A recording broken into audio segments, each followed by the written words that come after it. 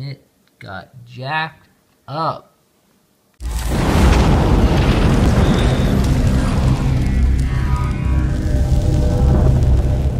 What you got there, bud? A golf ball. What do you think we should do with that golf ball? Burn it with a propane torch? and who do you think is going to win? Propane torch or golf ball? propane torch. Okay, let's go find out.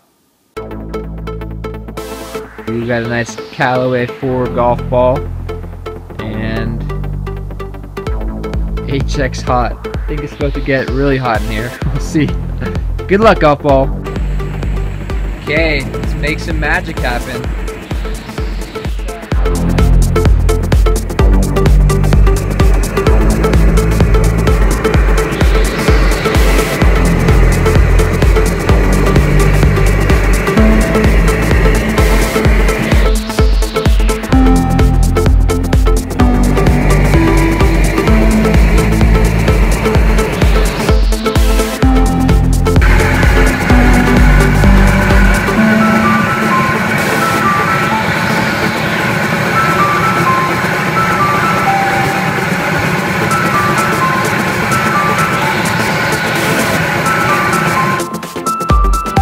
Guys can see this, but it's like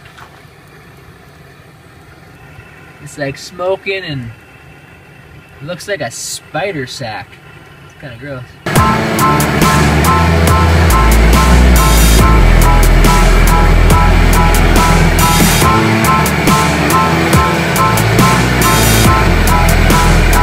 Okay, Av's gonna come pick it up slowly, bud. Pick that thing up.